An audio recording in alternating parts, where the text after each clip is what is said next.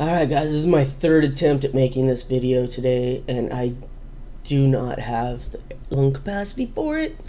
So whatever happens on this take, that's what you're gonna get. We're gonna pretend I'm in class. Here we go, finishing section 1.4. Uh, we'll talk about 1.5 tomorrow. I just don't see that happening today. I still have another class I need to uh, do this for. So I'm really sorry I couldn't be there. Uh, watch your email slash announcements on Blackboard for tomorrow's class. We'll see how it goes today. All right, so um, this is I started a new one, so I'd have a new one posted here. But this is the exact same thing, the end of the lecture that we started yesterday in class. Uh, finishing section 1.4, I put up the intermediate value theorem here because that's what all of these problems, uh, starting at number 10, deal with. So if a function f is continuous on the closed interval from a to b, with f of a not equal to f of b, so the endpoints have different heights, and k is any number such that k is between f of a and f of b, then there is at least one number c in ab such that f of c equals k. And I'm still a child in my mind, so f of c equals k also makes me giggle. Okay, so what, what's really going on here? And I drew a couple of pictures because you know, I wanted wanted to have a, a, couple of options. I don't want you to get locked into uh, which is less and which is more. But really, we have three things going on here. We have one. First of all, f is continuous on the closed interval from a to b. All right, so that that's our setup. Our second thing is that the endpoints cannot have the same height. There has to be something between them. So here on my graph, I've drawn f of a lower and f of b higher, and on the second one, I reverse the order because the order doesn't matter. It doesn't matter if this function is increasing or decreasing, just that the endpoints can't be the same value. And then what we need is k is between f of a and f of b. Now, if all of this is true, then we're guaranteed that whatever that k value is that's between f of a and f of b, we know there's going to be some c value. Now, this only proves existence. Uh, we cannot always find that c but we know it exists.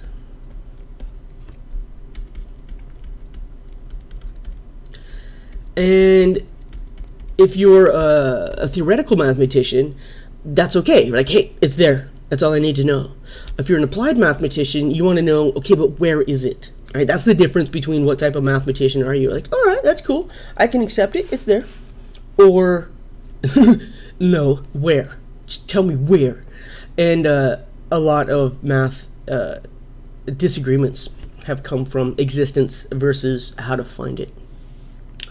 Um, math disagreements, they're not like cool like uh, mixed martial arts or anything, but um, they amuse me. Okay, so in order to explain why the function has at least one zero in the given interval, we're going to look at these three items. So we're going to look at continuity on the interval, then we're going to discuss the values of the endpoints, and then we're going to see if 0, right, 1, 0, we're going to see if the k value of 0 is between f of a and f of b. Okay, so first step. Uh, f is continuous on the interval from 0 to pi because we know that polynomials are continuous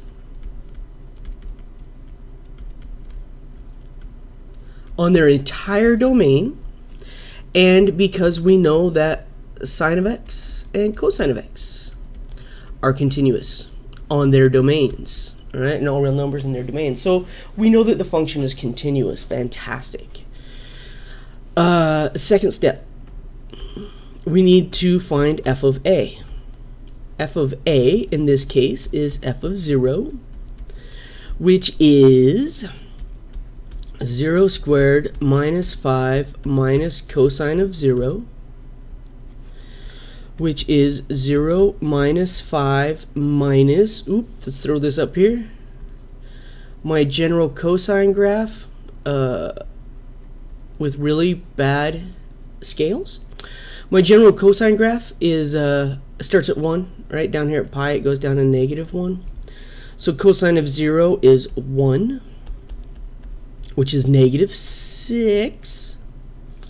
So f of 0 equals negative 6, whereas f of b, which is our f of pi value, is pi squared minus 5 minus cosine of pi,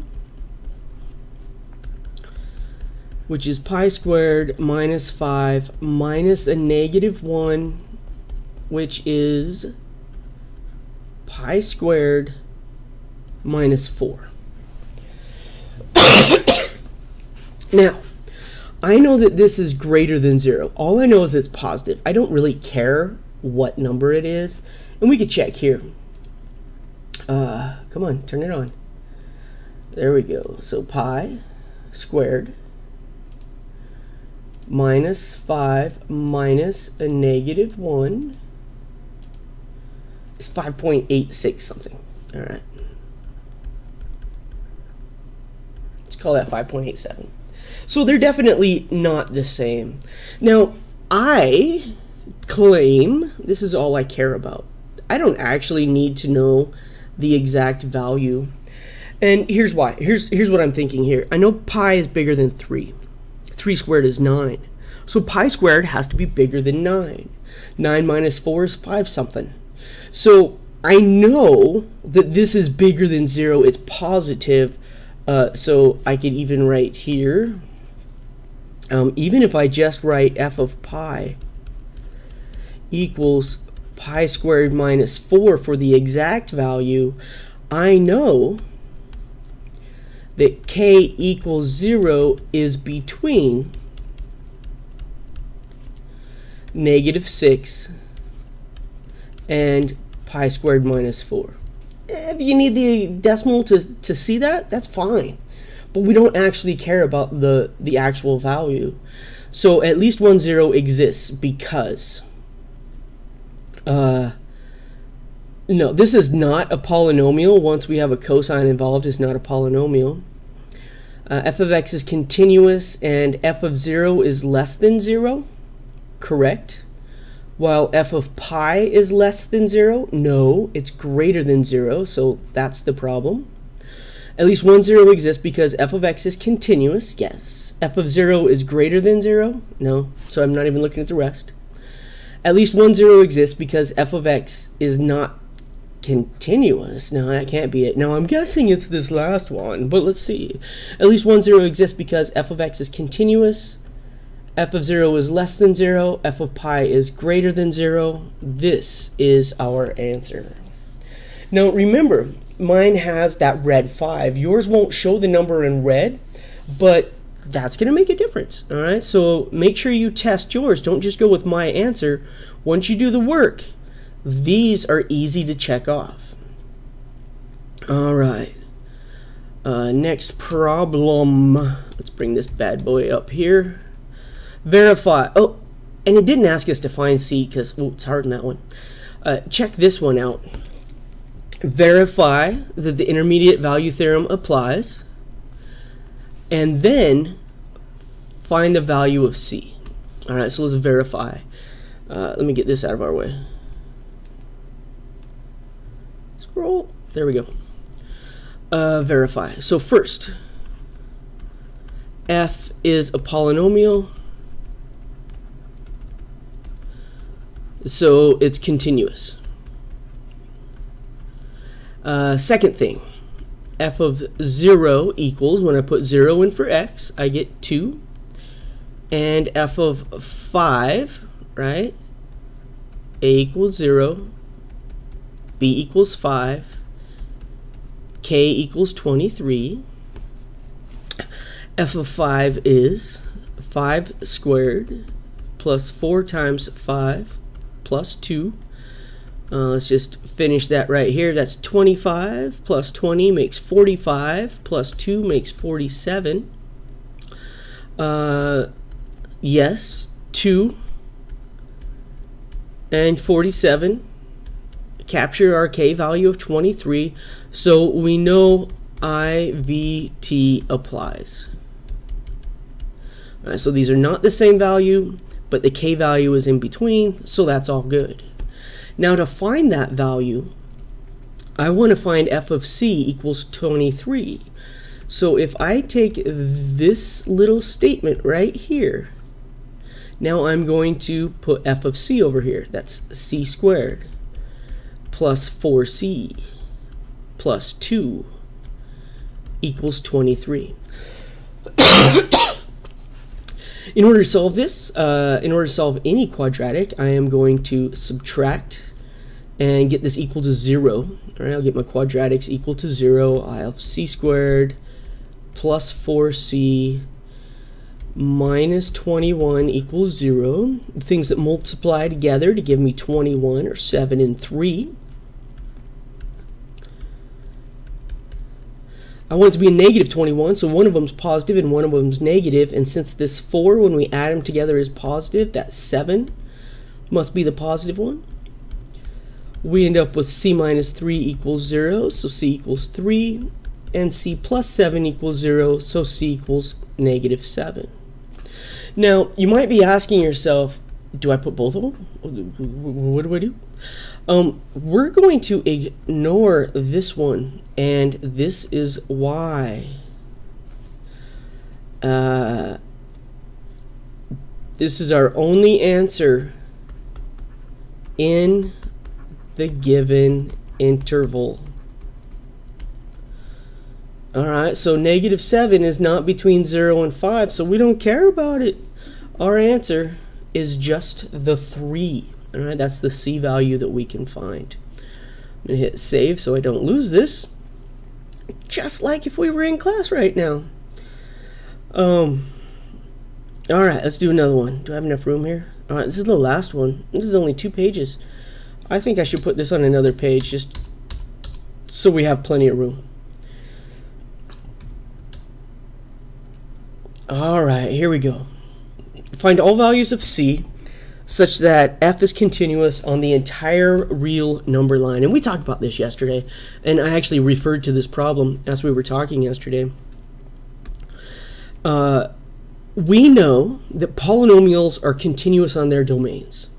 So each piece is continuous. Our only issue with any piecewise defined function is at c. So I am going to make sure I can write that only possible issue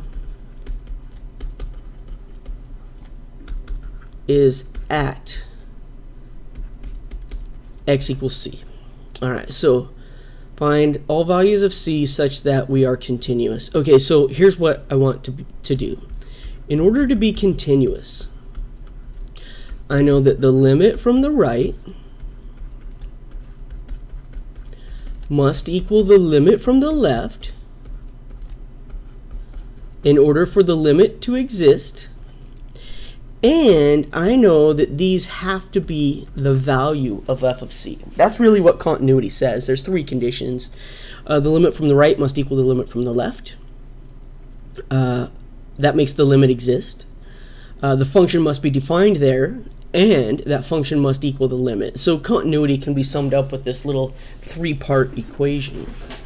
So what I'm going to do is each one of these. The limit as x approaches c from the right. From the right, remember, are greater values than c, because they're on the right of our number line. So the limit as x approaches c from the right of x, I would use the bottom part, equals c. The limit as x approaches c from the left, all right, c from the left will be left of less than. So I'll use this top piece, uh, piece, portion, portion. And in order to evaluate a limit, all I do is substitute. Remember that little negative or that little positive? That's just telling me from the right and from the left. There's no negatives going on here. It's just right and left. Uh, this will be 4 minus c squared. Now I happen to know because of this or equal to, I happen to know that uh, f of c is also equal to 4 minus c squared. All right, so I can find all three parts of this. But what we really care about, what we can what we can do with this quite easily, is just set these two equal to each other, right? That limit from the right is equal to the limit from the left, so it must be that c equals 4 minus c squared. It's a quadratic. Let's get everything equal to 0. So I'm going to add c squared, subtract 4. Now I'm going to not use uh, decimals or factoring. I'm going to, oh my goodness, uh, 1, 2, let's call this 3. I'm going to another page. Oh, it's not another page. Yay. I'm going to use the quadratic formula. Negative b plus or minus the square root of b squared minus 4 times a times c all over 2 times a. And when we simplify, we get negative 1 plus or minus uh, negative 4 times 1, still at negative 4, times negative 4. So uh, that's a positive 16 plus 1 makes a positive 17 all over 2. That's ugly. Uh, so c equals negative 1 minus the square root of 17 all over 2. And c equals negative 1 plus the square root of 17 all over 2. And we want this continuous on the entire real number line. So those happen to be the values that make the input equal to the output. Isn't that interesting? I got nothing. Um, the only thing I've got actually is I really want to check these values, and I don't blame you at all if you want to check them. So I am going to attempt to do this without, oh, yay. Yeah, I'm still here. Um, I'm gonna I'm gonna see if I can input this answer and make sure it's right for you guys. I got lucky and had the homework up still. Videos with silence are a lot worse than class with silence because, you know, I don't know. I just assume so. There we go. So I happen to know, right, when I subtract, that's going to be a smaller value. So I'm going to do negative 1 minus the square root of 17 all over 2. And then I'm going to be lazy. I'm going to copy that and I'm going to put in a plus sign here, and that's to be my larger value, so I don't have to type it again. Uh, fingers crossed, the problem is the same as I was doing on my paper. Yes. Remember, it doesn't tell you how to round, so you don't round. Fantastic. Now, uh, let's see what else. Let's just make sure I got a couple of other answers right. Let's put in c equals 3 for 12, and that bottom one for 10. 3 and the bottom one and I'm going to submit. It didn't like that. Oh. Because that was number 11 and not number 10 my goodness. I tried to be like all stealthy. Um, this one is actually correct. I didn't do number 11 don't believe that answer. But number 10 I got it right Alright, that's all the air I have for you guys today. I do apologize. Um, I'm going to try to get in and see my doctor today. But until then, keep an eye out for uh, your email tomorrow morning. And uh, I, I, get up at 6.30 to check on my kid to see if she's going to school. She's been home for two days this week. Uh, if she's not going to school, then I'm going to email you and let you know our status. I'll let you know either way. If I'm going to be there, I'll email you and tell you I'm going to be there. Uh, if I'm not going to, um, I, uh, I'll probably cancel for the rest of the week. All right, so check out your email. Uh, I'll have that up before 8 tomorrow. I'm going to end this video now so I can get it posted.